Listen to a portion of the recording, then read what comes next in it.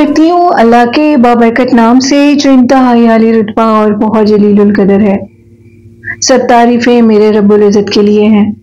सलातम या सैदी या रसूल अल्लाह सल्लल्लाहु अलैहि वसल्लम। स्केरी उर्दू टेल्स के मोजन नाजरीन को अस्सलाम वालेकुम आई होप आप सब लोग बिल्कुल ठीक होंगे।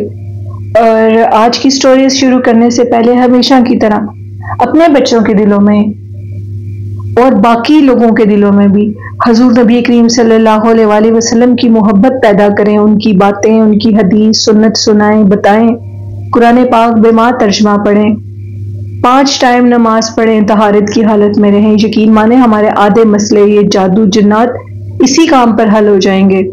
अगर हम पाकिजा रहेंगे सुनत को फॉलो करेंगे, अल्लाह के बताए हुए रास्ते पे चलेंगे मुकम्मल तौर पर।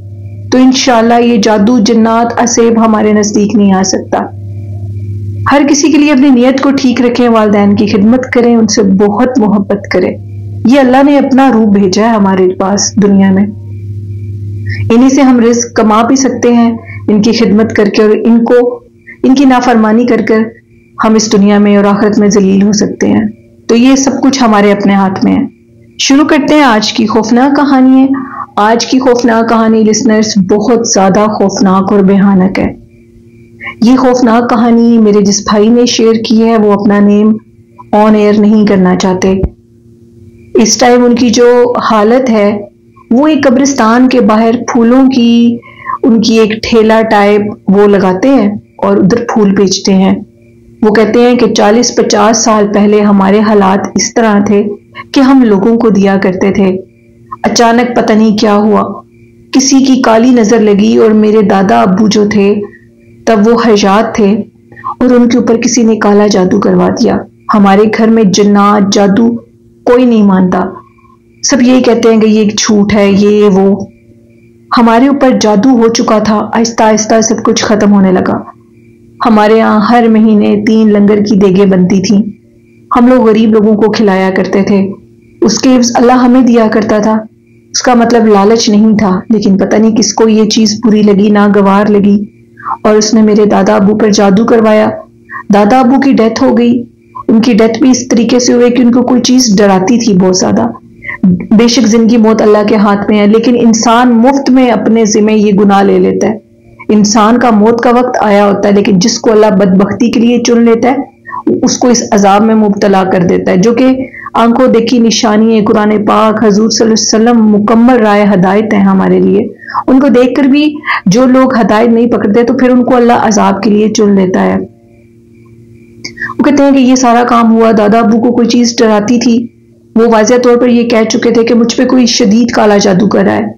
मुझे लगता है कि मेरा अंदर अंदर से फट फट रहा है और आहिस्ता आहिस्ता करके मैं इस दुनिया से चला जाऊँगा। दादा अबू की डेथ से पहले उन्होंने एक चीज़ कही और वो ये थी कि डेथ से दो तीन दिन पहले बल्कि वो कहते हैं कि मैं उनकी जो चारपाई थी जिस पे वो सोते थे वो, वो कहते थे कि मुझे लगता है कि मुकम्मल पानी में डूब चुकी है। एक रात डेथ से एक रात पहले उन्होंने कहा कि मुझे बचाओ मेरी चारपाई पानी के अंदर डूब गई है। मैं गोते ले रहा हूँ मुझे सांस नहीं आ रहा। हम लोग उठ के गए और हमने उनको कहा कि क्या हुआ है आप इतमान रखें आपको कुछ नहीं होगा। नेक्स्ट डे सुबह सात बजे उनकी डेथ हो गई थी। खैर, तब से मैं तब पढ़ता था। और उस टाइम मेरी एजुकेशन जो मैं अपनी तालीम हासिल कर रहा था, वो कहते हैं कि वो इस किस्म की थी कि मैं, माशाल्लाह, बहुत बड़ा ऑफिसर बन सकता था। मेरा वक्त गुजर, हमारा वक्त गुजर रहा था। मेरे अब्बू के दो भाई थे, एक मेरे अब्बू और एक मेरे ताया अब्बू। वो सब लोग थे और दादा की डेथ होगी दादी अम्मा रह गई। वो भी उनके गम में दो तीन साल के बाद उनकी भी डेथ हो गई। हालात खराब से खराब होते जा रहे थे। कारोबार बिज़नेस डाउन हो गया था। अब पता ये चला कि मेरे जो ताया अबू थे वो किसी अल्लाह वाले के पास गए और उन्होंने कहा कि इस चीज़ को समझो। तुम लोगों के ऊपर कोई चीज़ है, कोई चीज़ तुम लोगों के पीछे पड़ी है और वो तुम लोगों को नुकसान दे देगी। तुम लोग अपना कोई इलाज करवाओ। ताया अबू ने आकर घर सबको ये बात बताई। लेकिन कोई भी इस तरफ़ नहीं गया। घर हमारा वीरान होता जा रहा था। कुछ अरसे के बाद वो कहते हैं, ताया अबू की डेथ होगी। फिर भाई कहते हैं कि उनके अबू की डेथ होगी। इतनी पढ़ाई पढ़ी डिग्री हासिल की, लेकिन कोई नौकरी नहीं, रास्ते बंद, कुछ भी नहीं। हालात इस तरह तंग कर दिए गए कि हम लोग खाने पीने से आवाजार हो गए। यहाँ तक एक दिन मैं सो रहा था और मुझे ऐसे लगा कि मेरे गले के अंदर कुछ कांटेदार चीज़ बाहर निकल रही है, चुभ रही है मेरे गले में। सोए सोए मेरी आँख खुली और जब मेरी आँख खुली तो मैंने वॉमिटिंग की और मेरे गले के अंदर से, वो कहते हैं कि एक अजीबो गरीब किस्म का पौधा जिसके इर्द गिर्द सारे कांटे होते हैं कैक्टस होता है आई थिंक वो। कहते हैं कि वो निकला मेरे गले के अंदर से। इतना कड़वा इतना कड़वा कि मैं बता नहीं सकता। उसके बाद वो कहते हैं कि इनको भाई कहते हैं कि उनका जिगर का प्रॉब्लम बना, वो ठीक हुआ। तो कभी किडनी प्रॉब्लम कभी क्या कभी क्या, इस तरह के अजीबो गरीब मामला घर के अंदर एक मखलूक नज़र आती थी, छोटे कद की, बिल्कुल। उसका कद पाँच साल के बच्चे जितना होगा, वो हवा की तरह कभी इधर, कभी उधर। ये चीज़ तब वाजे होगी जब ताया अबू की भी डेथ होगी, वो कहते हैं उनके फादर की भी डेथ होगी। और उनकी डेथ के बाद ये चीज़ वाजिया होने लगी, और इस हद तक वाजिया होने लगी कि वो अब तंग करती थी। बच्चे सोए होते थे उनके ऊपर, उनकी गर्दन दुबाने लगती थी। वो चीखे मारते उठते थे। हद से ज़्यादा काले जादू का घेराव ऊपर हो गया। मुझे फिर मेरी बे, बेगम ने कहा कि आप जाएँ किसी अल्लाह वाले के पास पता करें आखिर मामला क्या है। बड़े तो अब चले गए हैं जो इस चीज़ पे यकीन नहीं करते थे लेकिन हमें इस चीज़ को देखना चाहिए हमारे मामला कैसे ठीक होंगे। भाई कहते हैं मैं फिर एक अल्लाह वाले के पास गया और उन्होंने कहा कि ये जादू 40-50 साल पुराना हो चुका है। तुम्हें इसे तोड़ने में कई लाखों लगाने पड़ेंगे। बेहतर है कि तुम कुरान पाक पढ़ो और चारों कुल पढ़ो, आयतल कुर्सी पढ़ो, दिन में दस दफ़ा, और चारों कुल का हिसार अपने घर के ऊपर करो। और एक काम ये करो कि अल्लाह पाक और हजूर पाक का रोजा मुबारक अपने घर की दहलीज के ऊपर लगाओ। और अगर तुम उस छत पे नहीं जाते जो, जिस छत के नीचे वो गैरली बनी है तो लगाने की इजाज़त है। अगर तुम ऊपर छत पे जाते हो तो नहीं लगा सकते। कहते हैं कि हम छत पे नहीं जाते थे, और बच्चों को सख्ती से मना कर दिया, छत पे नहीं जाना। और घर में हमने वो लगाया, उसके लगाने के बाद मैं उस जादू को नहीं तोड़वा सकता था। मेरे पास इतना पैसा नहीं था कि मैं कुछ खा पी पी सकता, मैं मुश्किल से बच्चों का गुजारा करता था। और वो कहते हैं कि वो मखलूक जब हमने घर में अल्लाह और उसके रसूल वसल्लम का रोज़ा मुबारक लगाया, चारों कुल पड़े, उन्होंने कहा कि अगर आप खुद सूरत बकरा की तलावत करें तो बहुत ही बेहतर है। तो आप किसी चीज़ पर ऑन भी करके इसको रख सकते हैं। फिर ऐसे ही किया, खुद भी पढ़ता था, जब नहीं पढ़ सकता तो उसको ऑन करके मोबाइल पे रख देता था। आहिस्ता आहिस्ता घर से वो चीज़ निकलने लगी, काला धुआँ बन जाती थी। कभी बच्चों के सामने आता था, खौफनाक हँसी हंसता था और बच्चे बेहोश हो जाते थे। इवन के मेरे छोटे बेटा, वो ये कहता था कि मुझे महसूस होता है कि मेरे कंधे के ऊपर सारा दिन कोई चीज़ बैठी होती है। जैसे आयतल कुर्सी पढ़ता हूँ तो वो चीज़ ऐसे नीचे गिरती है। हँसी की, खौफनाक बच्चे की आवाज़ें। सारी रात वो ऐसे सहन में घूमता था, चीज़ें तोड़ता था, नुकसान करता था। कभी घर की कोई चीज़ खराब, एक चीज़ ठीक करवा कर हटते थे, दूसरी खराब। एक ठीक करते थे, दूसरी खराब। काम ही यही था। आहिस्ता आहिस्ता उन बुज़ुर्गों के बताए हुए इस तरीके पे अमल किया, रोज सदका देना शुरू किया अपने माल में से। अब मेरा ये हाल है कि जो मेरी फूलों की, वो जो ठेला मैंने कब्रिस्तान के बाहर लगाया है उस पर मुझे कुछ ना कुछ बचत हो जाती है। साथ मैंने अपने बेटे को भी बिठाया है और वो भी वही फूलों का ठेला लगाता है। हालात खराब तो हैं, लेकिन अब खाने पीने के काबिल हो चुके हैं। आहिस्ता आहिस्ता अल्लाह पाक करेगा तो इस काबिल हो जाऊँगा कि इस फूलों की जो ठेला है इसको ख़त्म करके मैं किसी जगह पर कोई काम शुरू करूँगा। हालात साजगार बनते जा रहे हैं, लेकिन वो पहले वाली जो खुशी और रिस्क था अल्लाह के यहाँ वो ख़त्म हो चुका है, लेकिन इसके बावजूद मैं अल्हम्दुलिल्लाह करता हूँ। और मेरे भाई ये पैगाम देना चाहते हैं कि खुदारा अपनी जुबानें बिल्कुल बंद कर लें, किसी के आगे मत चलाएँ, किसी को अपनी कामयाबी मत बताएँ कि उनको पता लग सके कि आपके पास क्या कुछ है। हम नहीं जानते कौन हासिल है। बेशक हम अल्लाह की राह में खामोशी से सदका खैरात करें। खानदान में दें जो हकदार हैं, लेकिन क्या पता कोई हकदार ही उठकर हम, हमारे हक को खराब कर दे, लेकिन फिर भी दें, अपने करीबी रिश्तेदारों को ज़रूर दें। और बाहर भी दें, किसी को पता ना लगने दें। बास दफ़ा ऐसे भी होता है कि हम किसी की हेल्प कर रहे होते हैं और हमें नहीं पता होता, वो बंदा हमसे जल जाता है। वो हमारे हसद में आ जाता है और हम पर काला इलम करवा देता है। खैर, अल्लाह ऐसे हास्तीन से बचाएँ। अल्लाह की राह में दें, खामोशी से दें, बिना बताए दें। ज़रूरी नहीं है कि अगर खानदान में भी किसी को कुछ देना है तो बता कर देना आप उनके दरवाजे पर रखकर दस्तक दे दें और खुद दूर खड़े हो जाएँ और वो लेकर अंदर चला जाए। आपके बारे पता ही ना लगे। हमारा मकसद तो अल्लाह के हानि की करना है, इंसानों के हानि। ये कहानी थी, और बढ़ते आज की एक और खौफनाक कहानी की तरफ़। ये खौफनाक कहानी मुकदस ने शेयर किया है। मुकदस कहती है कि मैं इस्लामाबाद में रहती हूँ। एक खौफनाक कहानी शेयर करूँगी, और कहानी इस तरह है कि हमारे घर के अंदर एक काली भूतनी रहती है, काली स्या भूतनी। उसके पास वो कहती हैं कि मेरे छोटे भाई की एक डॉल होती है उसके हाथ में। पुरानी, अब तो भाई बड़े हो गए हैं, शादी होगी उनके भी बच्चे हैं। लेकिन इसके बावजूद वो डॉल उसके पास होती है, काली भूतनी। इस कदर तंग करती है, कोई अननोन बंदा अगर हमारे घर आए तो वो मारने लगती है उस शख्स को। यहाँ तक कि हमारे घर लोगों ने आना जाना छोड़ दिया है, इस वजह से कि वो मखलूक किसी को रहने नहीं देती। हुई एक गलती ये थी कि मेरी जो वो कहती हैं कि हमारी जो बड़ी थी ना आ, मेरे हस्बैंड का मेरे से रिश्ता हुआ जब और उस रिश्ते के दौरान जो मेरी नानी अम्मा थी वो उन्हीं की पसंद का मेरा रिश्ता हुआ और उन्होंने ही ये सारा मेरा रिश्ता वगैरह करवाया। ये घर की जो कहानी है ये मेरी अम्मी के घर की कहानी है। नानो इस्तारे करती थी और सारे उनकी बात मानते थे। उन्होंने कहा कि ये रिश्ता बड़ा अच्छा है और मुझे जो इस्तारे नज़र आते हैं, आप तुम्हारे, हमारे घर में कोई मखलूक है, यानी अम्मी के घर में, और उस मखलूक को दूर करने के लिए हमें मिठाई खिलानी होगी। हमने उनके लिए मिठाई रखनी शुरू कर दी, वाकई मिठाई रखी तो बहुत रिस्क आया। इतना कि संभाले नहीं, संभलता था, यहाँ तक कि हर चीज़ डबल ट्रिपल हो जाती थी। हमारे घर के स्टोर में जिन्नात रहते थे, जिन, मिठाई रखते थे, तकरीबन दो तीन मिनट भी नहीं गुजरते थे, मिठाई खाली प्लेट खाली हो जाती थी। दिन में दो दफ़ा नानों ने ये बात करवानी शुरू कर दी, सब बहन भाइयों की शादियाँ हो गई, घर में खुशहाली आ गई। और अब जब हमारी शादियाँ हो गई, नानों की तो डेथ हो गई थी, उसके बाद जो अम्मी थी, वो ये काम कर नहीं सकती थी। उनसे ये काम नहीं हुआ और वो काली भूतनी फिर हमारे ऊपर काबिज हो गई। वो एक भूतनी थी जो कि पहले एक दोस्त बन के रही और जब उनको मिठाई ना दी तो वो हमारे पे सख्त नाराज़ हो गई। उसके हाथ में भाई की एक डॉल थी और वो जब उस डॉल को ऐसे पकड़ के मरोड़ती थी, उसको झंझोड़ती थी तो भाई की हालत खराब होने लगती थी। हमने बड़ी मिठाई रखी उसके बाद भी, लेकिन वो इस चीज़ को एक्सेप्ट नहीं कर देती थी, करती नहीं थी, वो इस चीज़ को बिल्कुल इग्नोर कर देती थी। और जहाँ तक के वो नज़र आने लगती थी। हमारे घर के स्टोर के अंदर जब भी कोई दरवाज़ा खोलता था, एक खौफनाक काला अक्स नज़र आता था, इतना बेहानक इतना बेहानक कि उसे देखकर कोई बंदा तीन दिन सो नहीं सकता था। मुझे तो लगता था कि हम पागल हो जाएँगे। वो जगह जगह हमें नज़र आती थी। यहाँ तक कि एक दफ़ा इस तरह हुआ कि मेरी अम्मी ने उनके लिए दोबारा मिठाई रखी। भाई की तबीयत बहुत खराब हो जाती थी। अम्मी स्टोर में जाकर मिठाई रखाई और थोड़ी देर के बाद किसी ने स्टोर से उस मिठाई को उठाकर बाहर फेंका।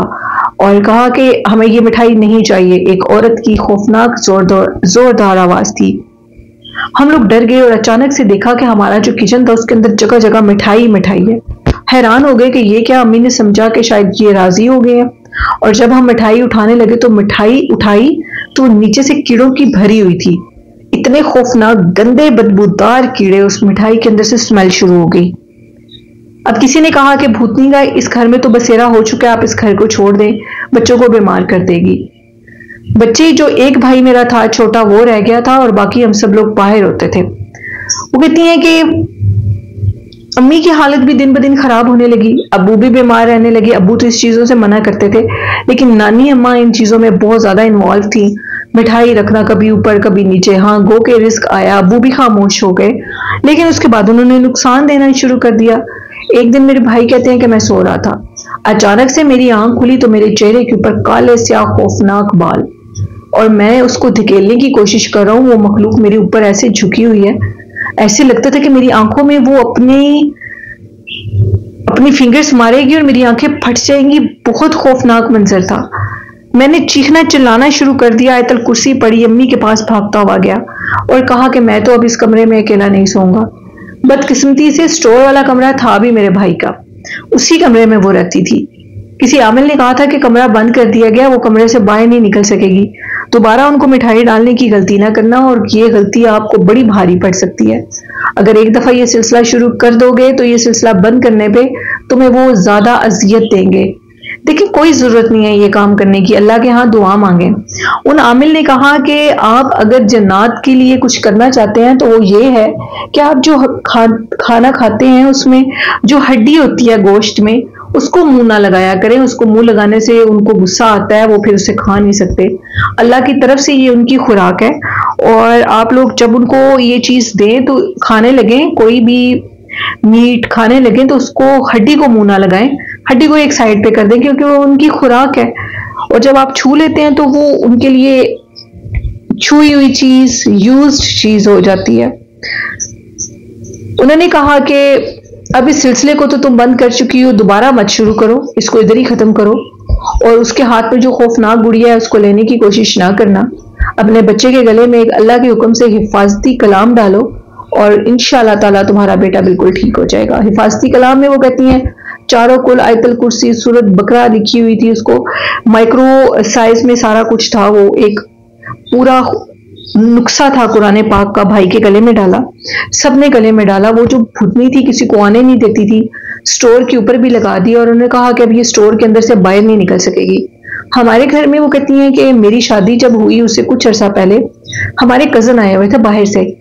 तो मेरी कज़न कहते हैं कि मैं रात को सो रहा था तो मुझे महसूस हुआ, जैसे कोई बेड के नीचे है अजीबो गरीब उलझन बेड को कोई हिला रहा है, सोने नहीं दे रहा। और जब नीचे से देखा तो वो खौफनाक शक्ल की भूतनी मुस्कुरा रही थी। और उसी टाइम उसने बेड पूरे बेड को उलट दिया और वो मेरा जो कज़न है, वो सर के बाहर फर्श पे गिरा और उसके, उसको चोट आई, उसका सर फट गया। वो कहते हैं कि इस तरह के बड़े वाकयात होते थे, वो तंग करती थी, सामने आती थी। रात के टाइम छत पे जाते थे तो अचानक सामने आती थी। खौफनाक इतनी थी कि उसको उसको कोई देख ले तो वो पता नहीं उसका हाल ही क्या हो। एनी फिर उसे जान छूटी, वो मुसीबत थी और उसको स्टोर में कैद कर दिया गया। स्टोर का सामान भी निकालने की हमें इजाज़त नहीं थी। उधर चेयर्स पड़ी थी कुछ और वो भी नहीं निकाल सके और फिर उस स्टोर को हमने बंद कर दिया। ये कहानी थी मुकदस की, जो कि उन्होंने मेरे साथ इस्लामाबाद से शेयर की। काली भूतनी का साया उनके घर पे था। और मिठाई देने से उनको क्या नुकसान नुकसान हुए तो ज़्यादा से ज़्यादा स्टोरीज को शेयर भी किया करें। कोई ऐसी गलती ना कर सके। जितना हो सकता है आप वसल्लम की उमतियों का भला होना चाहिए। तो स्टोरीज को बताया करें ये आपके लिए एक जानकारी है। आपको मुसीबत से बचाने के लिए एक जानकारी है। इसको समझें और अपने ऊपर ज़रूर इसको फ़र्ज़ करें और दूसरों तक भी पहुंचाएँ। आखिर में एक और शॉर्ट सा वाक्य है और ये वाक्य मेरे साथ आ, मुराद ने शेयर किया है। कोर्ट मोमन से मुराद कहते हैं कि हमारे जो बड़े थे वो बड़ी गलतियाँ कर जाते हैं और उनका नुकसान हम लोग भुगतते हैं। इसी तरह हमारे मेरे बड़े बुज़ुर्ग थे मेरे दादा थे और उनका ये काम था कि वो जिस दरख्त के नीचे बैठते थे वहाँ पर वो हम कलाम होने लग गए थे उस मखलूक के साथ। जब हम कलाम हुए तो वो मखलूक उनके सामने आ गई और उन्होंने उनसे गंदम का तकाजा किया। तो दादा अबू के पास अल्हम्दुलिल्लाह इंतहा से ज़्यादा गंदम थी और उन्होंने वो गंदम उन, उनको दे दी और कहा कुछ अर्सा तो दादा अबू उनको गंदुम देते रहे और वो मखलूक ठीक रही। एक रोज दादा अबू उनको गंदुम ना दे सके। और उन्होंने क्या किया जी कि जो हमारी सारी गंदुम की फ़सल थी, उसको जला दिया। खेतों में आग लगा दी हमारे। सारे गाँव में शोर मच गया कि अब मेरे जो दादा अबू का नाम लिया, उन्होंने कहा कि गंदुम को, सारे गंदुम के वो जो फ़सल है, उसको आपकी आग लग गई है। उन्होंने इतना नुकसान किया।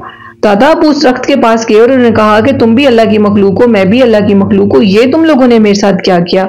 अगर मैं कुछ नहीं दे सका, मैं किसी काम के सिलसिले में मसरूफ था तो तुम लोगों ने तो सारी गंदुम का खेत जला डाला मेरी। ये तुम लोगों ने अच्छा नहीं किया। बेहतर है कि वाकई इंसान को जन्नात से दूर रहना चाहिए। मैंने तुम लोगों से वफादारी की, लेकिन तुम लोगों ने मेरे साथ बेईमानी की। और बेईमानी की सजा इंसानों को और जन्नात सबको मिलती है। तुम लोगों ने मेरी गंदम जला दी, इसका मैं बदला तुम लोगों से अल्लाह के यहाँ लूँगा। अल्लाह तुमसे इसका बदला लेगा। वो कहते हैं कि वो जो जिन्नात थे, उनके साथ भी फिर ऐसे हुआ कि उनका जो दरख्त था जिस जिसपे वो रहते थे तो एक दिन बहुत ज़्यादा तूफ़ान और बारिश थी। ये बात मुराद कहते हैं हमने अपने बड़ों से सुनी। और आज तक इसकी गवाही है हमारे पास। वो कहते हैं कि उस जिस दरख्त के ऊपर वो जन्नात सब रहते थे, और वो दरख्त के ऊपर बिजली गिरी और बिजली गिरने से पूरा दरख्त जल के राख हो गया अल्लाह की तरफ़ से।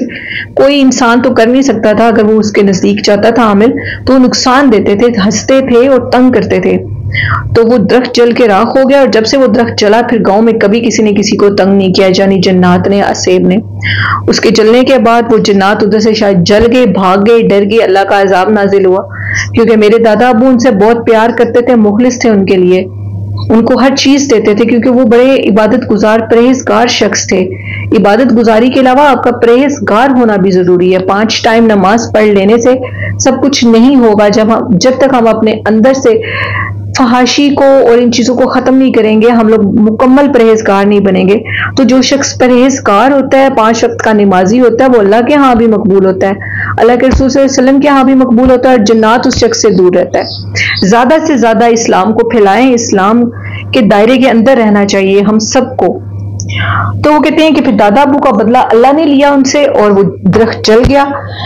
और फिर दादा अबू के पास उनकी डेथ से पहले वो उस मखलूक के जो भी वो बड़ा था, सरपंच, जो भी वो कहते हैं वो था, वो आया और उसने दादा अबू से माफ़ी मांगी और कहा कि तुम वाकई अल्लाह के कोई नेक वली हो। हमें सजा मिली, ऐसा कभी हुआ नहीं। हमारे सारे बच्चे, सारा खानदान जल के राख हो गया। मैं तुमसे माफ़ी माँगता हूँ और मैं इस इलाके से, तुम लोगों की इस दुनिया से ही दूर जा रहा हूँ, अपने दुनिया में। मुझे तो पता लग गया कि किसी के साथ बेईमानी करो तो अल्लाह जिन्नात को भी सजा देता है। तो ये थी कहानी मुराद की और मुराद कहते हैं, आज तक ये वो दरख्त जला हुआ काला से वो सारा दरख्त है। उस पर आज तक सब्जा नहीं आ सका। तो बेशक जो बेईमानी करता है, उसके साथ बुरा होता है। बदला अल्लाह पे छोड़ कर देखना चाहिए। अल्लाह बेहतर कफील है हम लोगों का, जो हमारे लिए सबसे बेहतर कर सकता है। ये थी आज की खौफनाक कहानियाँ। कैसी लगी आपको? अपना फीडबैक दिया करें। अपनी खौफनाक कहानियाँ आप भी शेयर कर, किया करें डिस्क्रिप्शन बॉक्स में। और स्क्रीन के ऊपर आपको मेरा ईमेल आईडी मेंशन होगा। और वालदाइन जैसी खूबसूरत नेमत की कदर करें। हजूर नबी करीम सल्लल्लाहु अलैहि वसल्लम पर दरुद सलाम पढ़ें, उनसे मोहब्बत करें, प्यार करें। अपनी और नीलम को इजाज़त दीजिए, अपना और अपने वालदेन का ख्याल रखिएगा। मुझे और मेरे वालदेन, मेरे बहन भाइयों को अपनी दुआओं में याद रखिएगा। अल्लाह ने के बान